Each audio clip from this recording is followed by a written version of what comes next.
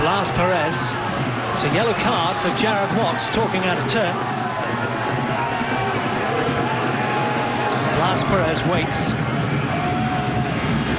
This for his 11th goal of the season. More importantly, give FC Dallas the lead against the Colorado Rapids. Up he steps. Perez to the left-hand side. And FC Dallas have taken the lead. How important could that be? They've broken the deadlock, 56 minutes gone. And Blas Perez with, with his 11th goal of the season. FC Dallas in front. Well, Blas Perez steps up a little bit of a stutter and then goes keeper's right-hand side. Well taken penalty from Perez.